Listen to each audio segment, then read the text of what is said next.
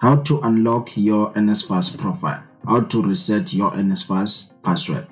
After receiving so many inquiries uh, regarding uh, the resetting or the unblocking of the NSFAS profile or account, I found it necessary to create this video and uh, showing the steps how you can reset your password and how you can unlock your NSFAS account, whether you have still have access to your email address or not. So if you know anyone who cannot access their NSFAS account, they, it is still blocked, uh, please share this video with them and make uh, or they can contact me if they are still struggling. Obviously, uh, for you to get this era, you must be on the NSFAS website through the My NSFAS account. Then you will notice that after trying entering your information, uh, maybe for example your username, which is your email address that you used, and then after that let's say you are punching the wrong um, password. You can see that just after clicking sign signing in uh, you will get this uh, notice that uh, says invalid username or uh, password. Usually make sure that the username is correct so that you'll be sure that it is the password. Please note that after three failed uh, login account uh, will be locked. So that's why if you can try again with the wrong account you will then receive this message that says your user profile has been locked or is locked please reset your password to unlock your profile. So how do you reset this password? Before i can start this video i just want to highlight something because i noticed uh, that majority of the people uh, they do not finish this video but i think it is necessary that i highlight this. So in facebook because of the number or the threshold number of my friends that i have I can no longer uh, receive uh, or accept any friend. That's why sometimes I cannot see your messages and I cannot uh, uh, accept your friend request. As you can see that there are many, many of you and uh, I cannot uh, accept your request. Let me say now I confirm this one. You could see that this person actually sent the message long time ago please go to your um, facebook and here just search reinvent yourself then dash Mancoba here. Then you click here you will find my page this my page. So yeah i don't know how it will appear to you but uh, if uh, the first thing that appears it's Mancoba there you can now either click here to whatsapp me it will redirect you to whatsapp or you can just click these three dots here and just write a direct message. Click the message here then you write me a direct message and send your inquiries. And uh, please do not forget to follow me. Okay i'm not here. So how do you reset your password? Obviously um uh, once you are here you must click forgot your password whether it is locked or you forgot your password. Just click forgot password here. Then here you need to enter your id number and make sure that it is correct. You can copy this because you will need it at the in in future on the next coming steps. Then click verify here. They want to verify that indeed um, you have an NSFAS account. Then you scroll down and indicate if you still have access to your previous email address or uh, cell phone number. So you can click yes if you still do. If you do not have access to it you will click no you can just click no then here you'll need to capture the new cell phone number. For example you can capture it the new cell phone number.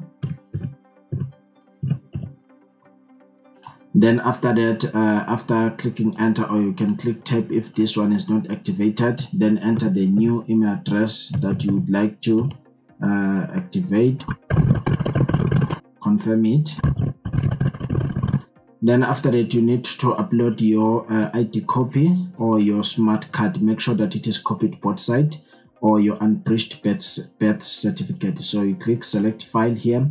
Uh, some people uh, once you click the select file nothing happens here. So what you need to do uh, don't give up. Just retry again. You see i clicked the select file nothing happened. So now i'll retry again then click select file. As you can see it will give me an option to uh, selected the file. Then you can go and search where you have stored your document. Then after that you click upload document. As you can see your IT copy has been uploaded. Then you click submit request.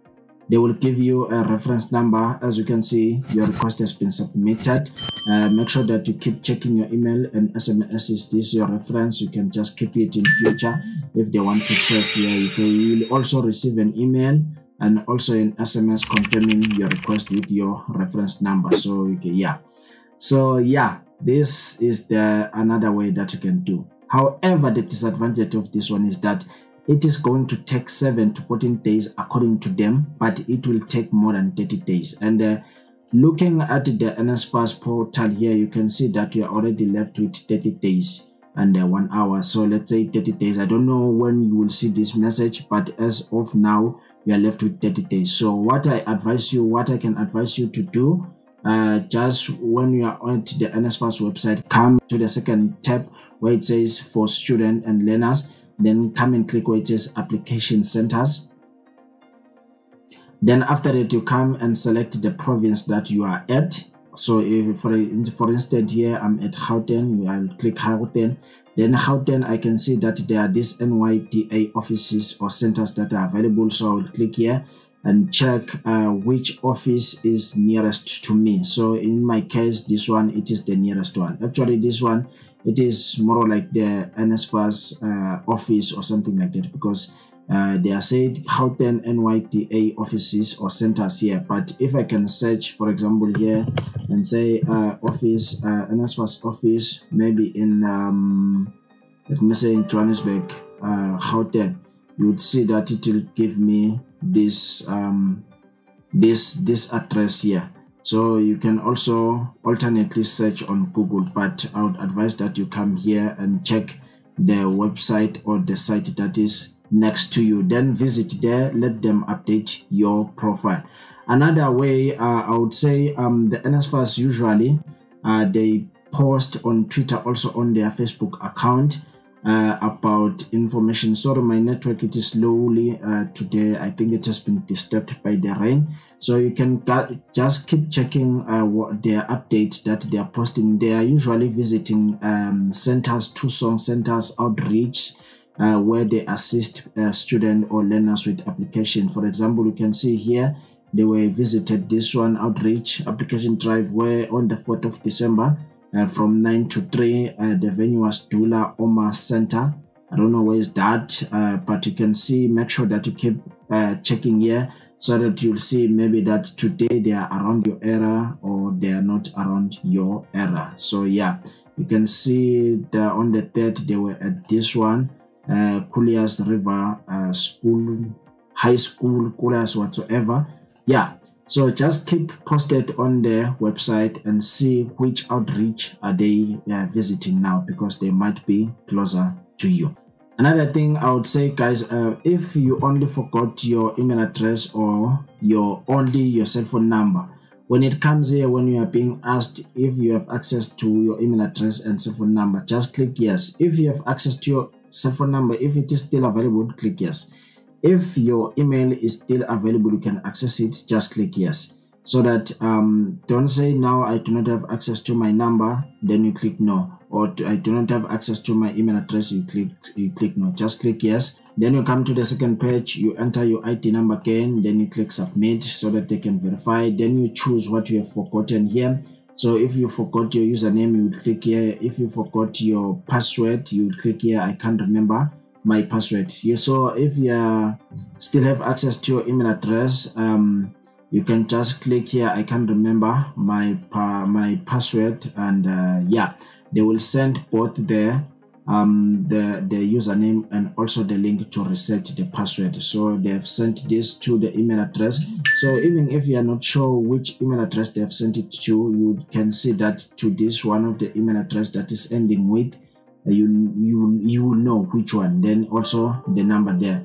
Then you can go to your email addresses. Then you go to your email to your email addresses. You can see that this is the email. First of all if you have submitted the request here they will also um, send you um, this message uh, explaining also the steps yeah also the references a confirmation that uh, you requested your email to be uh, updated. Then after that uh, come here and open the email. As you can see here if you have access to your email address you will receive also the username. Then only to your cell phone number you'll receive the link to reset your email address or oh, sorry your password. Then after that you click the email the, the link here to reset your email your password. So i usually uh, recommend that for the password you just enter your name a symbol and a number that you will not forget. So starting maybe a capital letter then you put a symbol. Then after that once you, you see that they do match everything and uh, you meet the criteria then you can click submit as you can see your password has been updated. So what you can do now you can just click go back to login or sign in. Then once you are here you enter your username your new username and the password that you have just created. So you must create a different password from the one that you used before. So guys if you are if you are logging in and you're still experiencing uh, the issue where you did see it will say the servers encountered an error or something like that. Please watch this video that will pop out on the screen and follow the exact steps that has been explained there. Just watch uh, very well. If you want to apply there will be another video on the description of this video. Please check it out and see how you can apply. If you're struggling make sure that you can contact me. If this video is helpful to you please make sure that you uh, support it by subscribing giving it a thumbs up and sharing it with someone. So once you are signed in you can now start applying or you can just start tracking your status and going for what. So ladies and gentlemen this is how you can reset your password at the uh, for NSFAS or this is how you can unlock or unblock your NSFAS account uh, I don't know if there's anyone who has question who has been trying and uh, you want um, clarity please do not hesitate to contact me. My contact details are on the description of this video below. Good luck with your applications and take care of yourselves